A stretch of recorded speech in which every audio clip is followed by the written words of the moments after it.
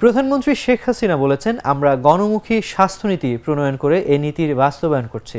যুগোপযোগী স্বাস্থ্যসেবা নিশ্চিত করার লক্ষ্যে নতুন নতুন হাসপাতাল, নার্সিং ইনস্টিটিউট প্রতিষ্ঠা সহ নানা পদক্ষেপ নেওয়া হয়েছে। ফলে বাংলাদেশের স্বাস্থ্য খাতে উল্লেখযোগ্য অগ্রগতি সাধিত হয়েছে। সারা দেশের হাসপাতালগুলোর শয্যা বাড়ানো ও চিকিৎসক, নার্স, সাপোর্টিং স্টাফের সংখ্যা বাড়ানো হয়েছে। বৃহস্পতিবার বিশ্ববিদ্যালয় গবেষণা দিবস উপলক্ষে দেওয়া বাণীতে তিনি এসব কথা বলেন। প্রধানমন্ত্রী বলেন, বঙ্গবন্ধু শেখ মুজিব মেডিকেল বিশ্ববিদ্যালয়ে চতুর্থবারের মতো বিশ্ববিদ্যালয় গবেষণা দিবস উদযাপন করতে যাচ্ছে জেনে আমি আনন্দিত।